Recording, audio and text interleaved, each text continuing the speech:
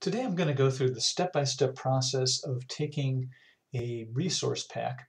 So say something like this urban resource pack, which has uh, sort of physically based characteristics. Like you can see there's really cool bump maps on here and, and so on. And take that resource pack and turn it into a bunch of textures that Mineways likes. Um, in theory, Mineways could go and look at that resource pack, but there's very good reasons that you might want to not do it that way, that you want to sort of pay attention to what that resource pack has and how you might want to change it. So let's go through that. So first things first, I'm going to download the resource pack.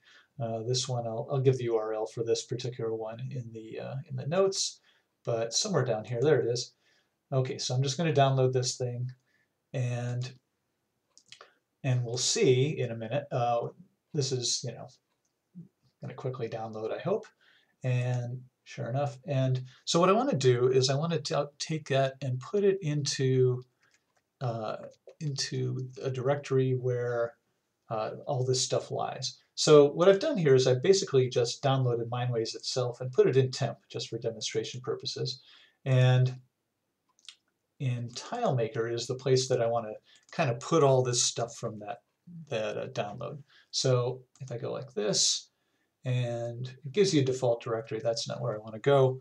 Um, we're going to put it in TileMaker, and let's just call it urban.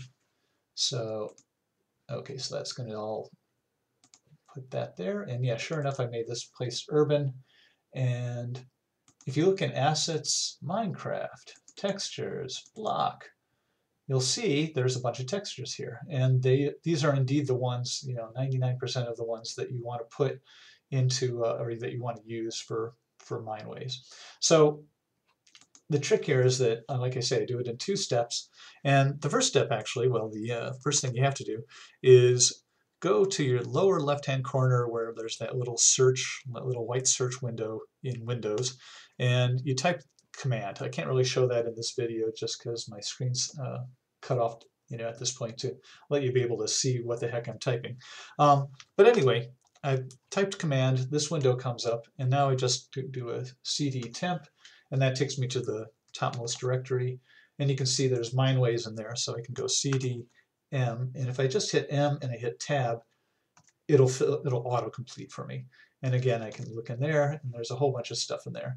Um, but where I wanted to go was to, uh, let's see, where did I want to go? I wanted to go to TileMaker. So what I want to do is go cd tile and I can just put a little bit of that in and it'll again autocomplete and that's the place I want to be. So I want to run Channel Mixer and Tile Maker on on this uh, on this urban guy.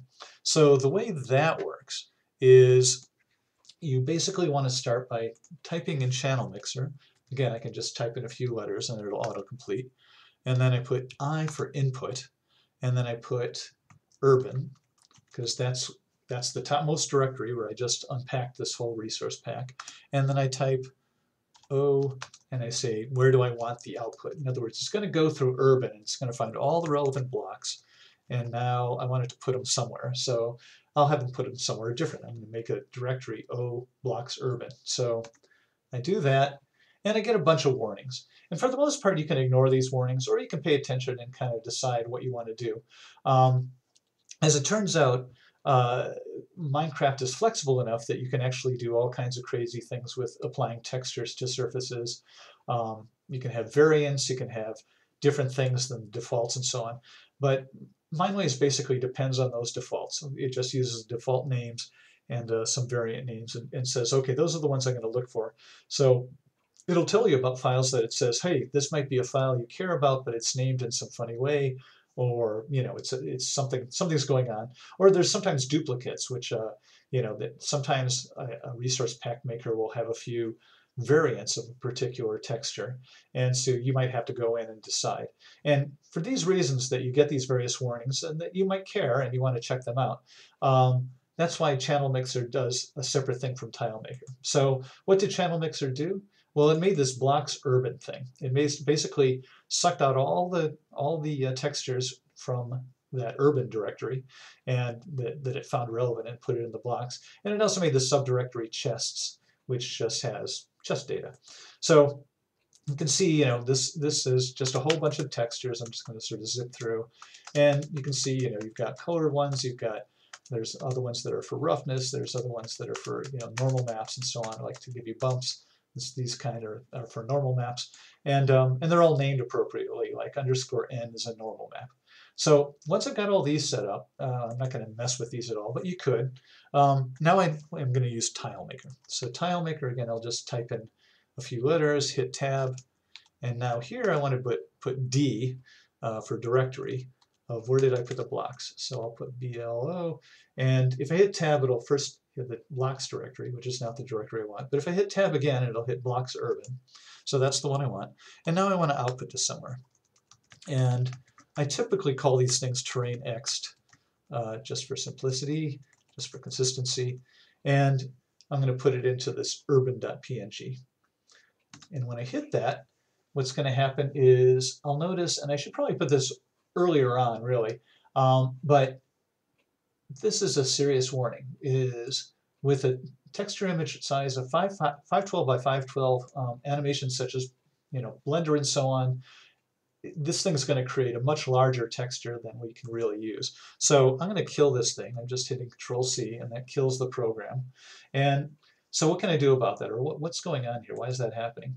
Um, well, what's happening is if you go through these textures, here we'll zip along, and eventually we're going to, you can kind of sort of see what happens is that you'll get one that's like huge probably.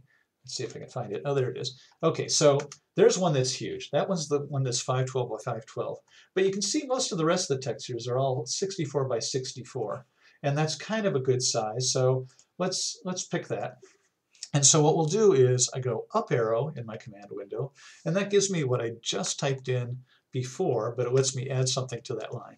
So by adding this dash T space 64, that's saying now give me something that's 64 by 64, like I'm going to just pull in the 64 by 64 text, you know, I'm going to make everything fit into a 64 by 64. If it's smaller than 64 by 64, it'll become that size. If it's bigger, it'll become that size. Um, and so you can see there's a few errors here. Uh, Mineways, again, these tiled, uh, TileMaker and so on, they expect powers of two textures, that they need to be 2, 4, 8, 16, and so on. Some kind of size like that. Um, and it's up to you that if it isn't that size, what you want to do. Do you want to just ignore it, which you know TileMaker will ignore it by default, um, or you can upsize it. You can make it you know uh, 32 by 32, or you can make it 16 by 16. But somehow you have to sort of adjust these and play with these and, and make them how you feel you want them. But for now, we're just going to ignore the fact that the smokers and whatnot didn't work. Um, so what happened there? Well, we got a few textures out of this. We got these guys that basically are a color texture, uh, a metallic, a normal, and a, a, roughness texture. So let's in fact go take a peek at one or two of those. So the uh, the color texture is, as you might suspect, it's a bunch of color textures. Um, the metallic, they didn't really have very many metallics. Black just means didn't find anything. There, uh, I'm not showing the whole view of this thing, but um, you know there are a few that have some metallic texture in it. Uh, here's the normal maps. You can see a bunch got normal maps applied to them. And then there's roughness maps. So some things are rough, some things aren't, and so on. So how does this work? Okay, well, we've now got these um, textures that we want to use. And so what we can do is, let's just go to Mineways, start it up. And let's see. Now the trickiest part of this is trying to remember the name of this thing. I think it's I think it's this one? Yeah, that's the one. So this is just a simple texture test world. It's just got a bunch of groups of blocks. And uh, so that's the group. And one little trick here, by the way, is that you can turn on show all objects. Like, so for example, you just saw, if you look carefully, you saw some objects appear here. These are buttons. Um, buttons normally are not all that visible, so I tend to just keep them hidden on the map. Uh, but for this kind of thing, you might want to, you know, turn them on so that you can see them, mouse over them, and whatnot. So, okay, so I've done that. And now I'm going to go pick my new texture file. And, uh, you know, it was in here, it was in TileMaker. And there's a whole bunch of these, and you always pick the first one. Um, in other words, there's an urban, urban, urban, urban. But these have these suffixes, M for metallic, uh, N for normal, R for roughness. You pick the one that's just the color one. So you pick that one. So now that says I'm going to apply that map, that texture, to uh, to my you know selection. Um, what I'm also going to do at this point is pick the USDA so you can actually see the effect of this uh, PBR stuff. So, okay, I do that. I do, whoops, didn't want to do that. uh, let's go back up there. Yeah, that's what I wanted to do. Um, urban, I'm going to call that. And now I export and nothing fancy. Um, and, you know, I get the usual stats and whatnot. And, uh, and if I look up here, I'll see there's indeed this uh, USDA file, and there's also this material directory with some, you know, stuff like that and all the textures in there and so on. So, okay, so what do I want to do with this? What I can do is, uh, in this case, I use um, this program called Omniverse Create, and I just drag and drop that in. So let's give myself a little room, drop it in, go to the thing, and uh, and it takes a few seconds to load the thing up and then compile the textures and so on. But anyway, you get in there, and now I'm just hitting W and uh, sort of, you know, moving around just to go see what's what. Um, let's see, well, it's an interesting place to look at here. So you can see a whole bunch of textures here. I'm trying to find where, where are the cool textures. Uh, let's see, let's look in here. Okay, those are pretty good. So, so you can see actually like these guys, they have uh, bumpiness to them. And if, in fact, if you go in here and you move the sun around, you can see the effect of that. Like you can see as I move the sun's angle, uh, the, the, the look of that changes basically. So, you know, here's another way I can move the sun. Let's try that maybe. Anyway, uh, yeah, you, you, hopefully you get the idea that you know you've got these textures and they've got a, a, cool bumpiness to them, and and that's because there's indeed a bump map attached to each one. And so that's it. That's all I wanted to show you was that you know you really just need to use Channel Mixer and Tile Maker on any resource pack. Um, you can go then mess with the textures as you need to if you want to really be specific, but for the most part it'll give you something pretty usable and uh, you know and, and give you some cool textures. So enjoy. Thanks.